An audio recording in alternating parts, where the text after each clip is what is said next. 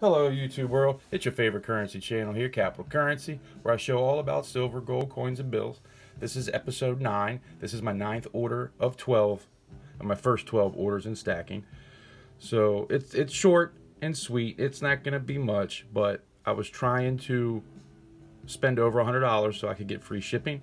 And uh, I was trying to buy every paycheck, so it's not a lot, but like I said before, I'm trying to be real and show you exactly what I bought in my first 12 orders. There's definitely other big orders. If you watch some of my other videos, I got a couple big ones, and I got a couple big ones coming. So anyway, without further ado, let me give you a close-up here. We got the SilverTowne Prospector Bar. This was 96.56.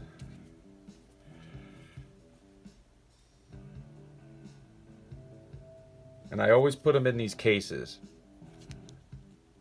I love these things. They're so, they're hefty. For a hundred bucks, you get something pretty hefty to hold in your hand. And I like that.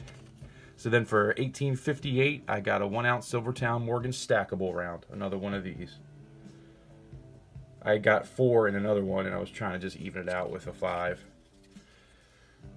And I put them in these cases that you can um, put in the boxes. I got those red boxes and um, they fit in that really nice. So anyway, we're going to keep it short today. Uh, if you like this kind of stuff, please subscribe to the channel.